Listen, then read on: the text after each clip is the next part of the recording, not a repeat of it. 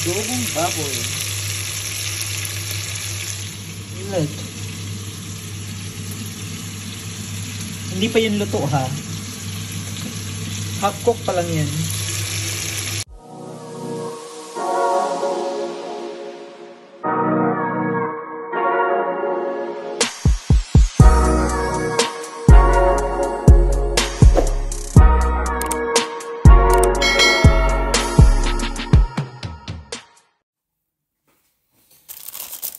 I have pork.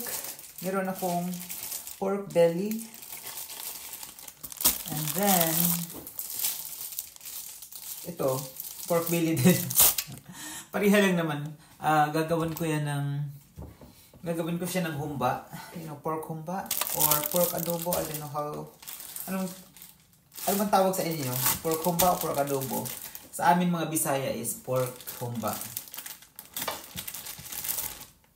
So, hiwain ko lang siya ng mga tatlo. Gusto ko ganito kalaki kasi pag niluto iyan, ay liliit pa yan.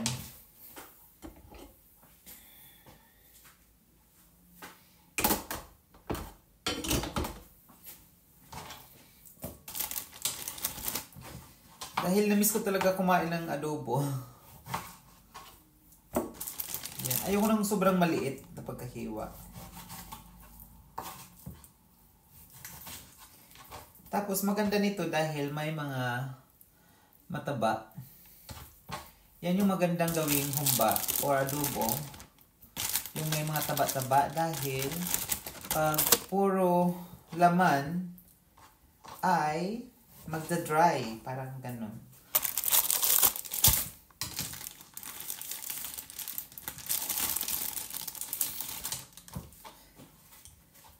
Ito rin, so...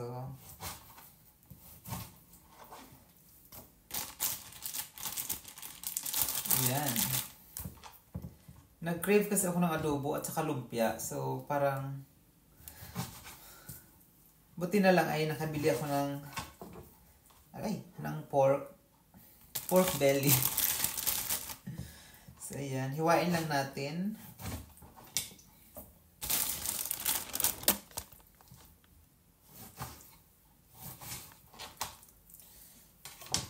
So, ayan. Nahiwa na natin yung pork. So, next step natin ay gagawa tayo ng pang-marinate nito.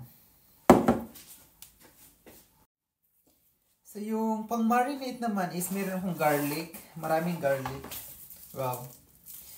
Then garlic and then meron akong vinegar. And then may soy sauce. And lalagyan ko siya ng um, Shaoxing uh, cooking wine. Well, sarili ko naman. Depende sa inyo. Optional lang naman yan. Para sa akin, uh, parang gusto kong lagyan. And syempre may onions. And then, meron ding um, ginger. Yan. Meron tayong ganyan. So, ayan. Meron nating garlic. Gamitan lang natin ng ano, ng pang chop para mas mabilis.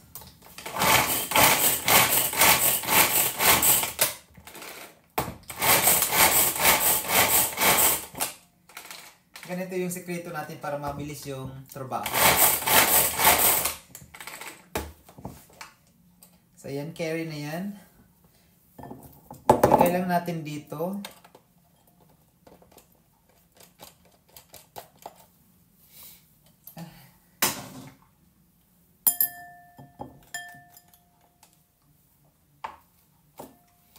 So, yan.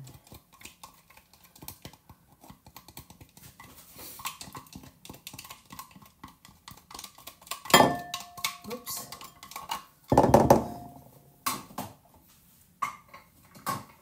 Okay, yan. And then, lagyan natin ng suka o vinegar. Di ko na siya, ano, 1 is to 1 na lang gagawin ko dito.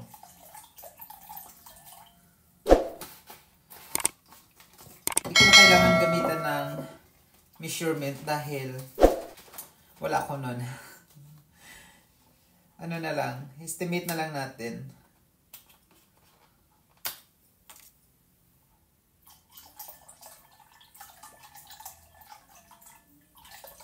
Ayan. And then, lagyan natin itong wine.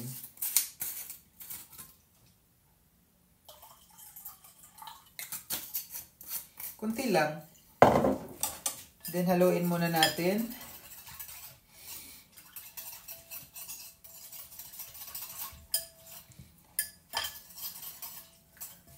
Then, lalagyan ko siya ng black pepper. So, ayun, lalagyan ko rin siya ng brown sugar.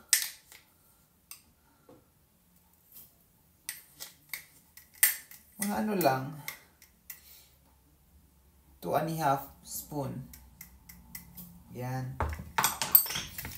And then, meron din akong ano dito. Uh, peppercorn. Yan. Yung buong paminta. Pero iga-grind ko siya.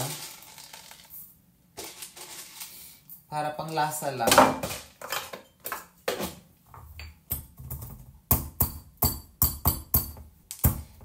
So, hindi siya kailangan talagang pinong-pino. Basta, mag-grind lang siya ng konti para lumabas yung aroma niya. And then, yung lasa din. That's it. Mm, look. So, ganito siya. So, ganito yung kung nakita niyo. Lagyan natin dito.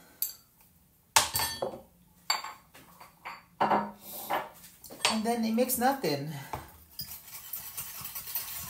Saka na natin i-lagay dun sa pork.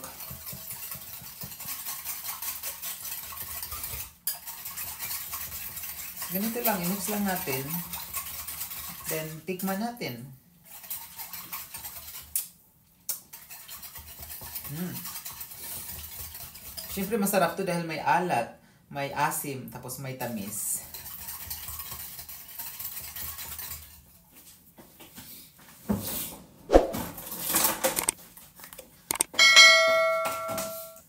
Lalagyan ko pala siya ng ginger. Oh. Yan, para mabango at masarap.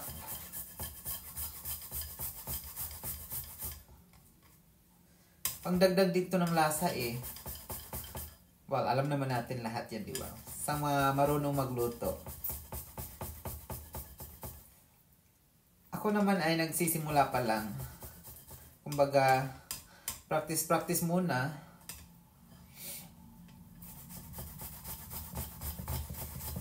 So, yan.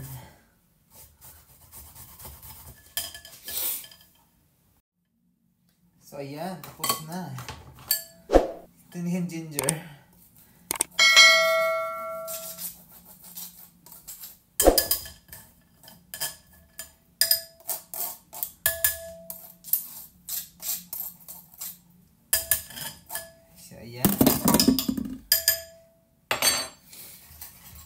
Haluin na naman natin. Continue lang natin haluin para matunaw talaga yung asukal o yung sugar.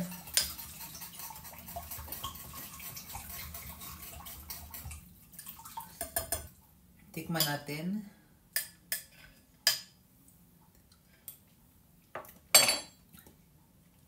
Wow. So, ayan, ihalo na natin dito yung sauce. Oops. Ayan.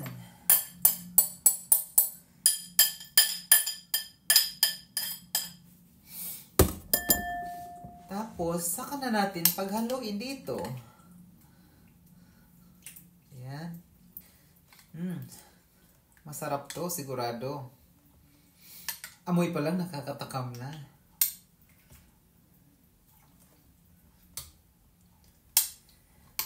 Halos ata lahat ng Pinoy marunong mag-adobo eh. May, may mga kanya-kanya tayong paraan or style ng pagluluto ng adobo. Depende sa inyo yan kung saan kayo mas komportable.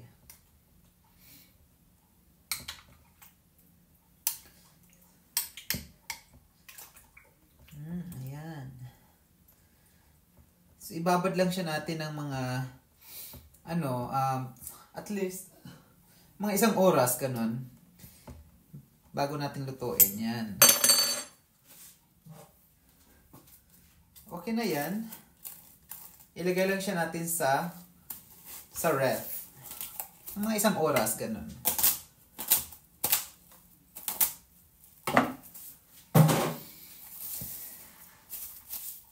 So, ayan. Ilagay natin sa ref.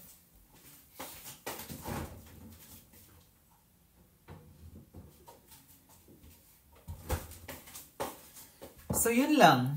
So, after one hour, lulutuin na naman natin siya.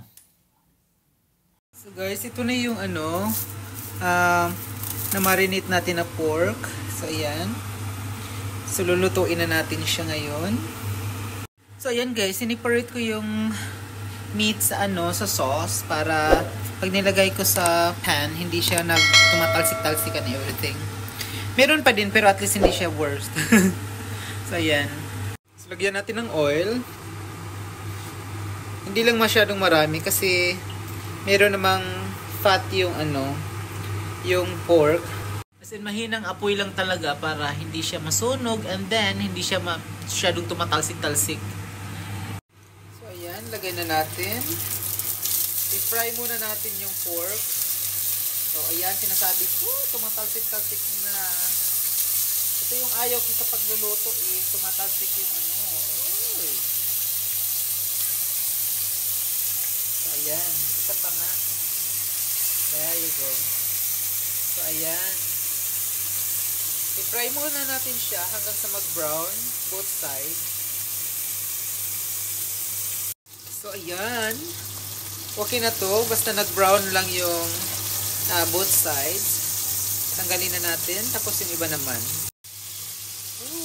Grabe ang amoy. Nakakagutom. Naghahanap ng extra rice. Sarap. Ganito rin ba kayo mag-adobo or mag ano, ay adobong baboy o humba?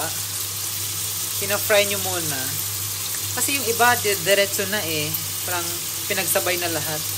Ako, gusto ko ganito para uh, luto yung ano, yung, yung meat. Kumbaga. So, yan, ready na to. Ilagay na natin yung sauce. Ayan.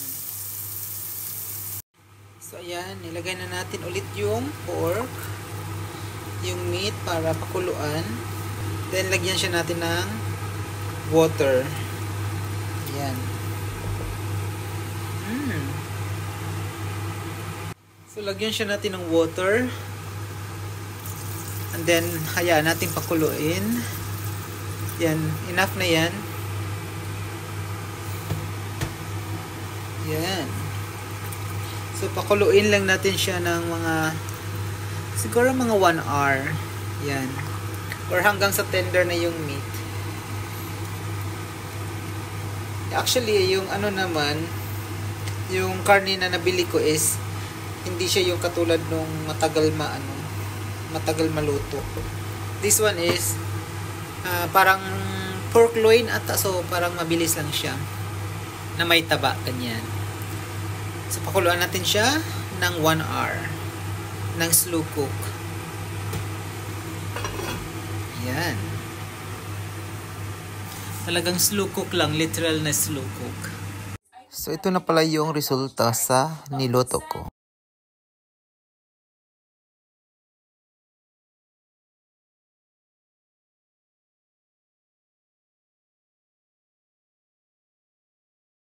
So ito pala yung resulta.